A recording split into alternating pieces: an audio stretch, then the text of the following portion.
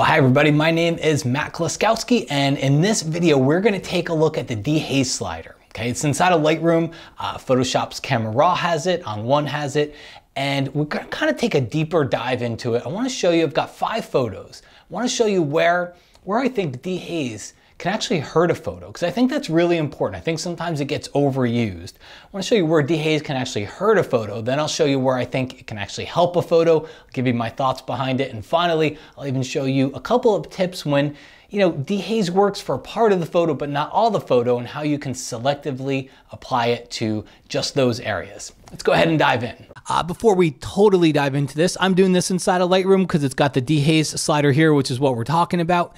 If you're in Photoshop, just understand that you have your dehaze in the basic panel, and then you also have your adjustment brush, which has dehaze. It works exactly the same as Lightroom.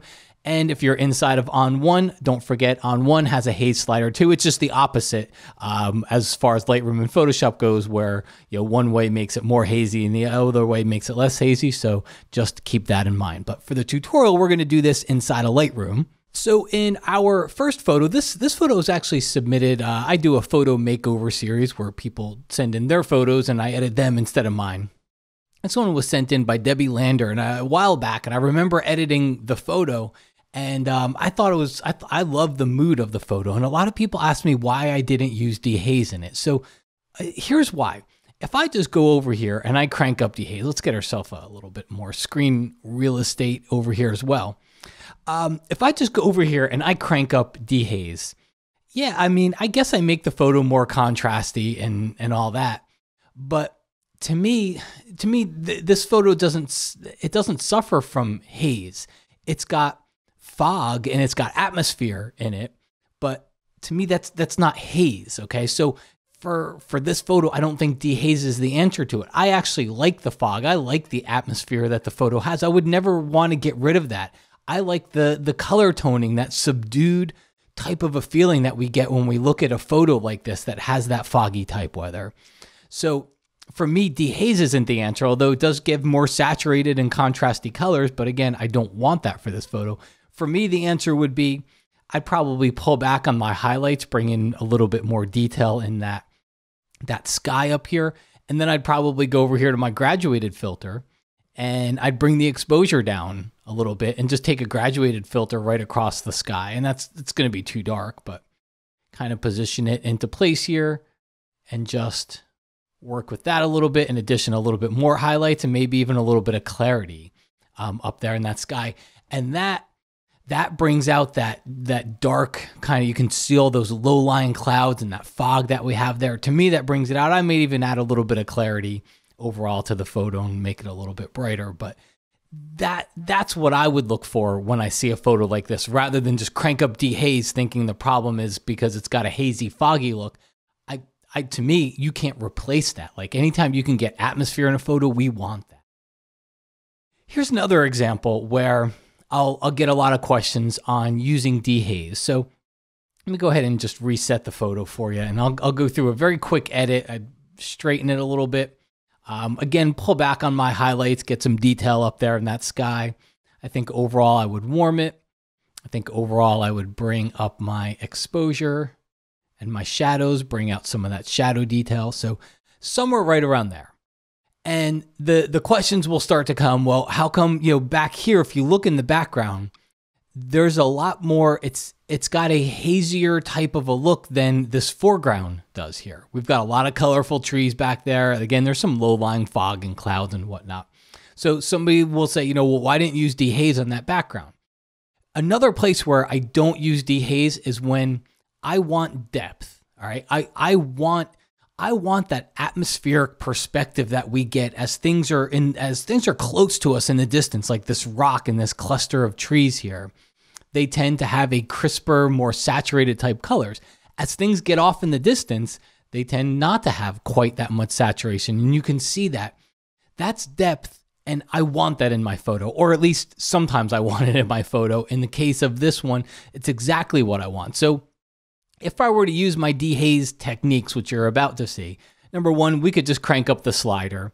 Again, that just makes everything contrasty and, and to my eye oversaturates the sky here. So I wouldn't want to go, I wouldn't want to just crank up the slider. what I'll do a lot of times is I'll grab the brush, the adjustment brush here, and I'll go over and increase the haze. And then I would go in and just selectively paint it on the parts of the photo that I want it on. So I could go over here and I could paint it on this whole background.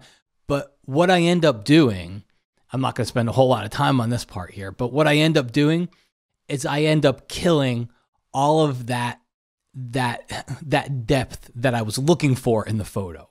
Okay, the the thing that separates this this clump of trees from its background, I, I end up kind of just making everything look oversaturated and contrasty, which is why I wouldn't use dehaze in a case like this because the depth tells it brings people into the the view that I see and kind of helps people realize that this is an expanse of a scene. It really goes deep, and that's why we see that haze in there. So I wouldn't use it in this case. Now let's uh, let's look at one more time where I wouldn't use it, and then we'll take a look at where I, I would start to use it.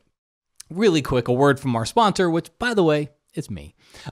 Um, if you would be so kind, where, wherever you're watching this video, uh, I would greatly appreciate it if uh, if you would just subscribe or follow that channel. So if you're watching it on YouTube, you can of course subscribe. And uh, and then if you want to make sure you get notifications whenever I post a new video, uh, just make sure you ring the little bell that you can do there. And then if you're watching this on Facebook, of course you can like the page, and Facebook also has notifications. So if you want to get notified when I post something, um, go ahead and turn that on there. Okay. All right, let's jump into uh, to this example here. So I remember editing this for a group, and somebody said, "Why don't you use dehaze?" Well, here's what dehaze does to the photo. All right. Um, why don't I like this? Let's let's forget about the ugly oversaturated blue background sky that we have here.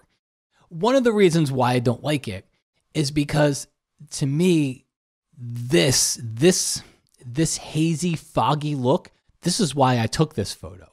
The play of the light through the clouds and that softness and the way you kind of see the the little the little rock formation down here but you don't see all of it. To me that's why I took the photo. So while I would probably go in here and open up the, the shadows a little bit and maybe do a little bit of, of dehaze, I would never crank that up to the point where it kills it. It makes this look contrasty and sharp because I don't want it to look that way. I want that atmosphere that we have here. So I'd probably go in here, open up that dehaze just a little bit. And then I would do the same thing. I'd go to my brush, the same thing I did in that last example. Go to my brush, um, open up the uh, open up the dehaze again just a little bit, and I might paint a little bit on here just to give it a little bit more color and maybe on the trees. But that's it. I'm using a big feathered brush, a very soft edge brush, so it bleeds in and blends in with all the surroundings here. But I would never want to crank dehaze so much that I lost that atmosphere that we had in this photo. So now where would I use it? Well, uh, a photo like this would be a perfect candidate because this was a, a, big scene. I put my 70 to 2 or 300 on at the time and I zoomed way in and I shot this photo. Um, so I think this is taken at 200 millimeters. Well, I deliberately that there was haze in the distance. This mountain scene, this isn't my this isn't a, the fault of my camera. This mountain range in the distance was hazy. In in the context of a bigger photo, that haze would tell a story of depth. I decided to pick apart a very small and intimate part of that scene.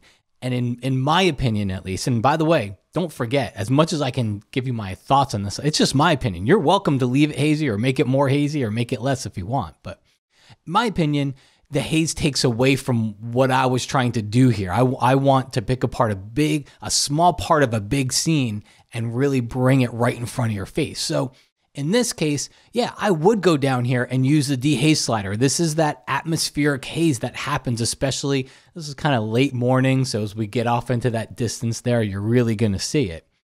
And um, it just takes almost a little faded look on it. So I would definitely increase the dehaze. You got to be careful because it's going to mess with the blue in the sky if you do it too much.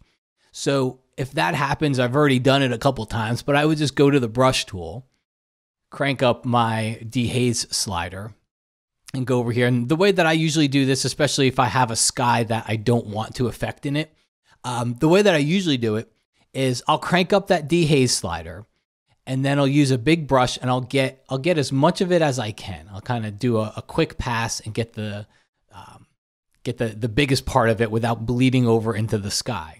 And then what I'll do is I'll go down and turn on auto mask. Okay. And by the way, same thing works inside of Camera Raw. Same thing works inside of ON1. So on you know, whatever you're using, there is a a, a haze or dehaze slider. And ON1, it's actually the opposite. Uh, it's called haze. And the the farther you go, the more hazy it gets. To the left, it goes less hazy. But same concepts would apply. So I would go in here and I would paint it. Then I would turn on the auto mask setting, and then I would go and I would paint along and just keep that center cursor inside of whatever I want to affect. I can't let it go into the blue there because that's when it'll start spilling over into that. I kind of give it a, a, pass one direction and then I'll go back and give it another pass because it is a little bit selective in what it picks there. Uh, if you want to see what it's doing, you can go down here. There's a little checkbox or just hit the letter O for overlay and that'll turn on your overlay and I can see if I missed any areas and use the left and right bracket key to, uh, to change the size of your brush. And also, once you do that pass along the sky, go ahead and turn auto mask off because you don't want it to, to, to mask at this point anymore. So just go through there and just clean up and try to get, and it doesn't have to be perfect. Um, just get any little spots that I missed in there. Okay. Hold down the Option or Alt key if you went too far and you want to get rid of something as well. All right, so let's uh, let's turn our overlay off so that we can see it. And if I want to see the before and after of my brush, I can toggle it. That's before, and that's after. So before, after. Sometimes I'll crank up the haze a little bit more. Sometimes I'll add a little bit of clarity. That'll give it even more contrast, a deeper, you know, almost deeper blacks when I start to do it this way. Um, because there's snow and because it's uh, it's almost got a blue feeling to it, and dehaze will often give things a blue tint. I will counteract that by moving the temperature to the right and adding a little bit of warmth to it and then uh, and maybe even boosting the whites a little bit just to boost the whites of that snow to give it a little bit more of an impact in that photo as well. So if I go down here and I turn the brush off, that's before and that's after. So that's when I will use dehaze. Uh, one more example. In this case, we do have a little bit of foreground and then we've got background. And, and now we get to the point where you have to decide, you know, what are you trying to get across in the photo?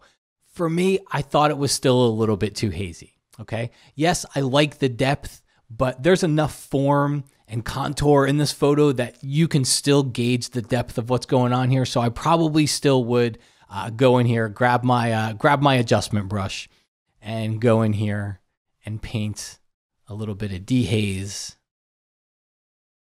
onto that mountain in the background there, and even a little bit onto the trees. just to give them a little bit more impact, like so.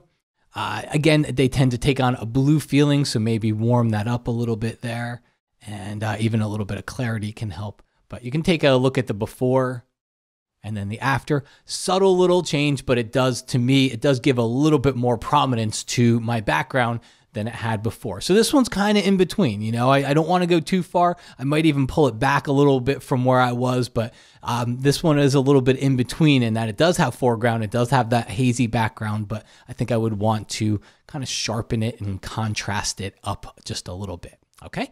Folks, thanks so much for watching. Hope you enjoy the tutorial and I will talk to you again real soon.